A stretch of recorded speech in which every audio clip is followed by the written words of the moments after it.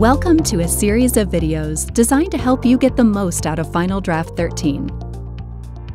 In this tutorial, we are using a Mac, but we'll show you the Windows menus if they're different.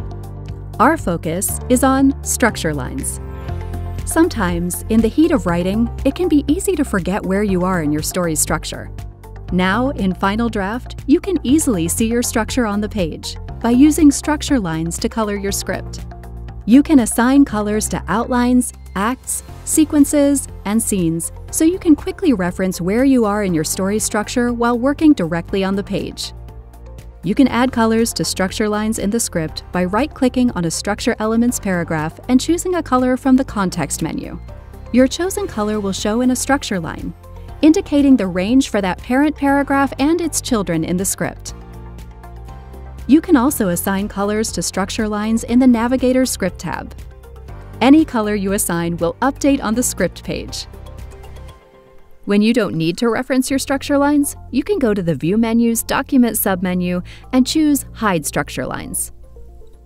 On Windows, go to the View menu and choose Hide Structure Lines. To see structure lines again, you can also go to the Show Hide menu on the toolbar and select Show Structure Lines. You can also add the Structure Lines toolbar button on Mac by going to View, Customize Toolbar, and dragging the Structure Lines button to wherever you want to place it. If you want structure lines in your PDF, simply leave them on when saving to PDF and they'll be included. If you print a script with structure lines showing, they'll also be printed on the script page. If structure lines aren't needed, hide them before printing or saving to PDF. And that's how you can use structure lines to never lose track of your story structure on the page again. Now you know the basics of structure lines. Thanks for watching. If you have any comments or suggestions, we want to hear them. Just go to Help, Submit Feedback, and let us know what you think. If you need technical support, go to Help, Get Support for access to Final Draft resources, including email, chat, and phone services.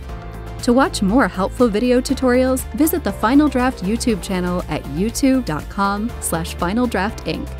Final Draft, the industry standard screenwriting software. It all begins with a script.